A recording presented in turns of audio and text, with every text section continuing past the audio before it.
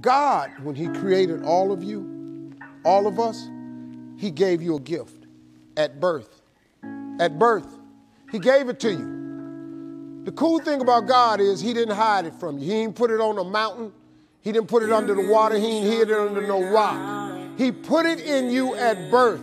God never created a soul without giving them a gift. All of you are gifted at something. The problem is, you keep wanting your gift to be what somebody else's gift is. That's a problem. If you ain't really an actor, why you acting? If you really can only sing at the church, why you out here trying to be a singer? If you really, really, really don't really produce music, why you out here trying? You really not a rapper. You feel me? All of you have a gift. You just got to quit wanting your gift to be somebody else's gift. Identify your own gift because you already have it.